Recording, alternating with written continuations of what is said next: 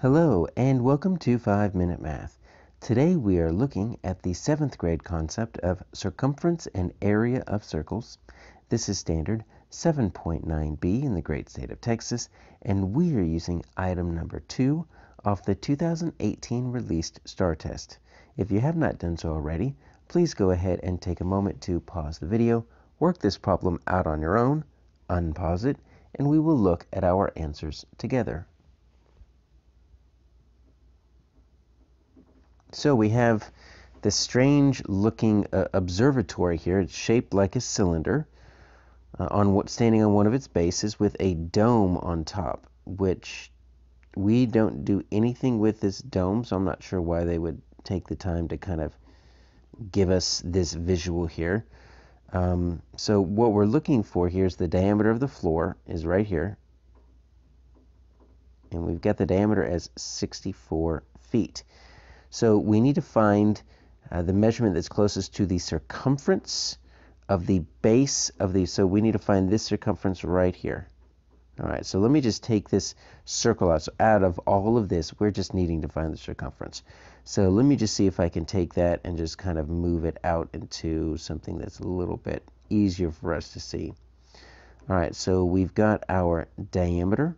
Remember, the diameter is the measurement is the imaginary line that goes through the center from one side to the other of a circle. It has to go through the center. So if I were to, to draw a line like this, that is not the diameter.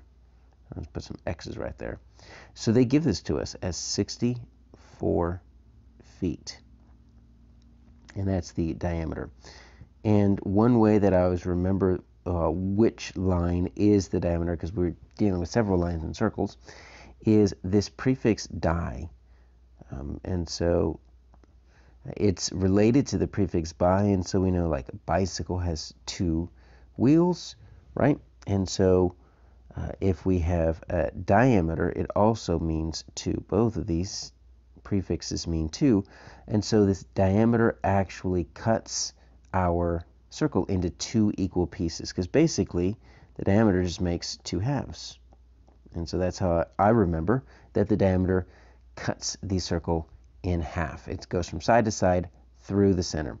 So we are looking for this circumference right here. And so the circumference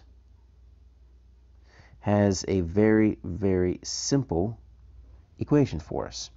So the circumference is pi times the diameter. And so we know what uh, this diameter is. They gave it to us at 64 feet. So all we need to do is figure out what this pi is. Now pi is kind of an interesting number because it is actually a ratio. So let's look at pi for just a moment.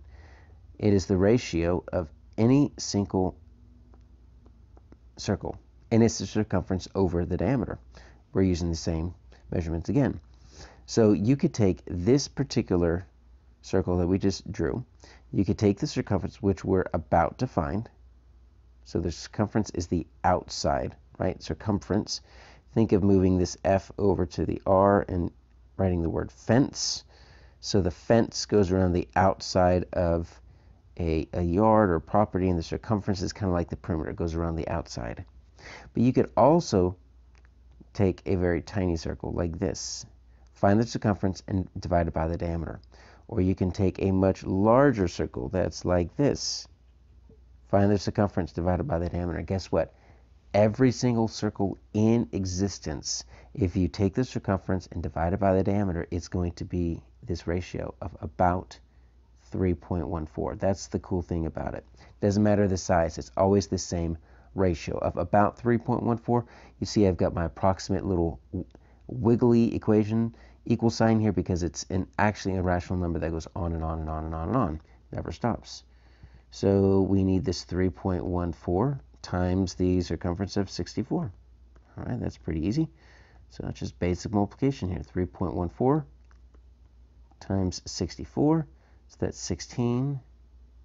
That's 5. That's 12. That's 24. That's 8. And that's 18. Just add them up. 6, 9, that's 10, that's another 10. 200.96. The answer is F.